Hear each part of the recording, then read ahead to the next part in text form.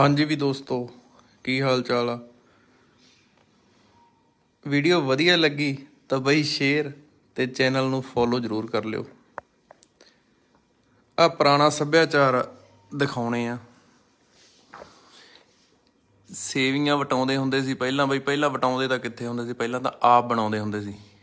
ਮੰਜੇ ਨਾਲ ਘੋੜੀ ਬੰਨ ਕੇ ਤੇ ਉਹ ਮਾੜਾ ਬੰਦਾ ਤਾਂ ਉਹਦੇ ਦੋ ਗੇੜੇ ਨਹੀਂ ਦਿੰਦਾ ਹੁੰਦਾ ਸੀ, ਕਿਉਂਕਿ ਵਿਰਲੇ ਘਰਾਂ 'ਚ ਹੀ ਹੁੰਦਾ ਸੀ ਇਹ ਕੰਮ। ਜਿਨ੍ਹਾਂ ਦੇ ਘਰੇ ਪਰਮਾਤਮਾ ਦੀ ਕਿਰਪਾ ਨਾਲ ਦੁੱਧ ਦੀ ਮਤਲਬ ਕੋਈ ਕਮੀ ਨਹੀਂ, ਉੱਥੇ ਇਹ ਚੀਜ਼ਾਂ ਦਾ ਜ਼ਿਆਦਾ ਫਾਇਦਾ। ਤਾਕਤ ਲਈ ਸਭ ਤੋਂ ਵਧੀਆ ਚੀਜ਼ ਆ ਸੇਵੀਆਂ। ਹੁੰਦੀਆਂ ਆਟੇ ਦੀਆਂ ਹੀ ਇਹ। ਕਈ ਅੱਜ ਕੱਲ ਸੂਜੀ ਪਾਉਣ ਲੱਗੇ ਵਿੱਚ ਜਾਂ ਮੈਦੇ ਦੀਆਂ ਬਣਾਉਣ ਲੱਗੇ ਪਰ ਆਪਾਂ ਬਈ ਆਟੇ ਦੀਆਂ ਹੀ ਬਣਾਈਆਂ ਇਹ। ਕੋਈ ਕਪੜ ਛਾਨ ਨਹੀਂ ਕੀਤਾ, ਕੋਈ ਬਰੀਕ ਨਹੀਂ ਕੀਤਾ ਆਟਾ ਨਾਰਮਲ ਆਟੇ ਦੀਆਂ। ਤੇ ਆਏ ਸਾਲ ਹੀ ਬਣਵਾਉਣੇ ਹੁੰਨੇ ਆ।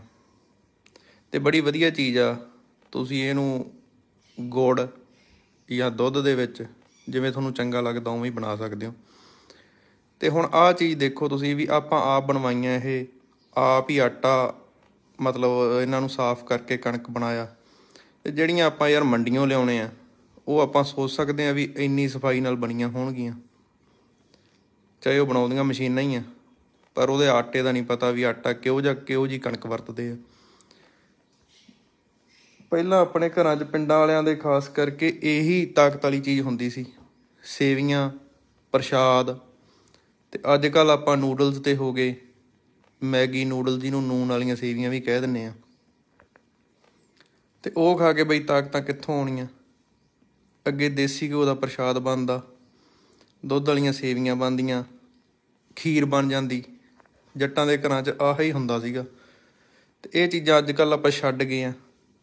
ਚਲੋ ਵਿਦੇਸ਼ਾਂ 'ਚ ਤਾਂ ਇਹ ਚੀਜ਼ ਪੋਸੀਬਲ ਹੀ ਨਹੀਂ, ਹੋ ਹੀ ਨਹੀਂ ਸਕਦੀ, ਪਰ ਪੰਜਾਬ ਵਾਲੇ ਤਾਂ ਕਰ ਸਕਦੇ ਆ। ਵੀਡੀਓ ਵਧੀਆ ਲੱਗੀ ਤਾਂ ਸ਼ੇਅਰ ਤੇ ਚੈਨਲ ਨੂੰ ਫੋਲੋ ਕਰ ਲਿਓ। ਬਸ ਮੈਨੂੰ ਵਧੀਆ ਲੱਗੀ, ਮੈਂ ਤੁਹਾਨੂੰ ਸ਼ੇਅਰ ਕਰਤੀ।